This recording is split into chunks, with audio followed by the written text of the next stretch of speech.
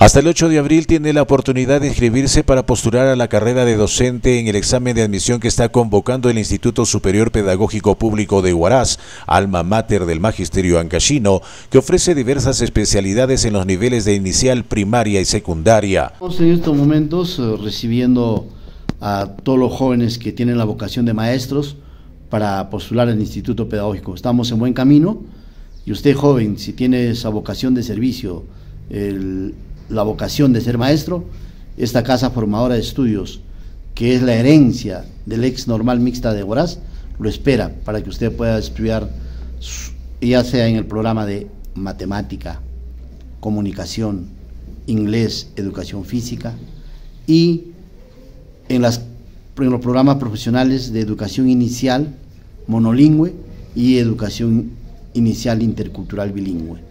¿Hasta cuándo se tiene plazo para la inscripción? Hasta el día 8 de abril están abiertas las inscripciones y el examen de admisión se desarrollará el 13 y 14 de, abril. ¿Los requisitos son básicos? Son básicos, partida de nacimiento, la fotocopia del DNI, eh, dos fotografías tamaño pasaporte en digital y eh, en físico y el pago al por el derecho de admisión en instituto. El examen de admisión son en dos fechas, ¿verdad? Así es. Una primera que es la de eh, desarrollo de competencias, capacidades y habilidades, y la segunda que es la entrevista para ver eh, el, grado de vocación que tiene el estudiante para ser maestro.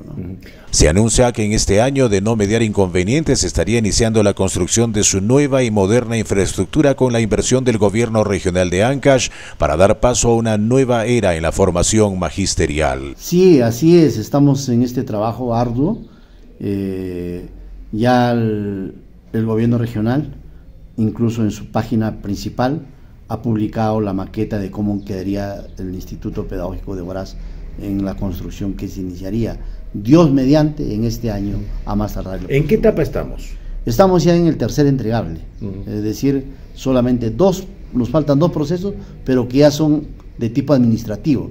Los procesos más difíciles, arquitectónico, físico, eh, eléctrico, ya hemos pasado, ¿no? Eso, entonces, estamos en el seguimiento de este proceso, mi estimado. Eso implica de que ya el expediente técnico está por finiquitarse y que es muy probable que ya se someta a licitación en el presente año.